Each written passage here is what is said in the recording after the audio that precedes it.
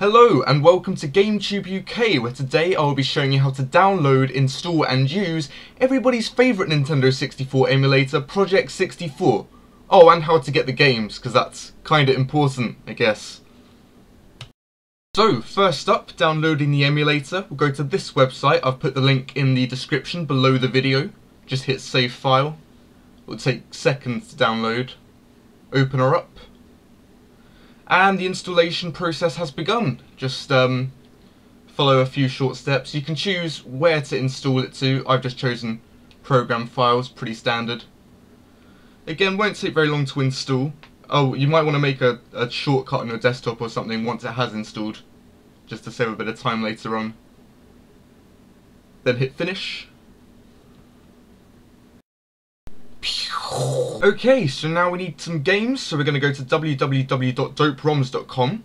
Uh, again, links in the underbar. So we've got a load of games consoles down the left hand side, just select N64. And then use the quick search here, I've just searched for Super Mario 64. And a load of ROMs come up. Remembering, U stands for United States, E for Europe and J for Japan, so I want the European version of the game I want.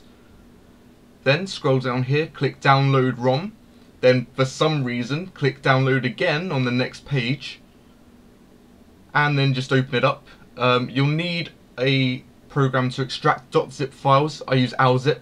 Again, link in the underbar, but um, WinRAR or something else will do the same job. And then just wait for that to download. So, open up the file. I've opened it up in Alzip, like I said. Right click, extract, and extract the game to um, whatever folder you want. I made a folder earlier called um, N64 Games.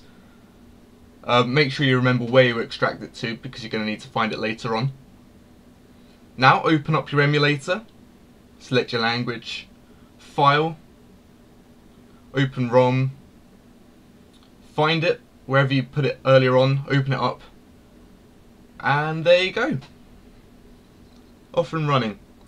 But there's one more thing you need to do. Just go to configuration, configure controller plugin, and from here you can set your controls just by clicking on the little tabs next to each control and hitting the key on the keyboard that you want. You can also use a controller. I'm using a wired um, Xbox 360 controller. Just need to select it from the drop down menu, click controller is plugged in, and just set the controls as normal. And um, when you're all done, hit OK, and you're off and running.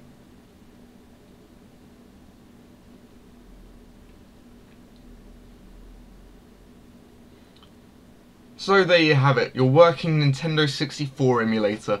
For some reason, when I recorded this, it sped all of it up. Obviously, it's not supposed to look like that. I don't know. But never mind. So, um, again, if you've got any questions, then go away! Or, alternatively, leave me a comment or send me an email at the address below. And I'll, uh, I'll see you later.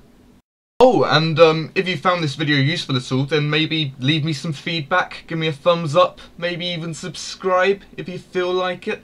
But um, until next time, toodaloo.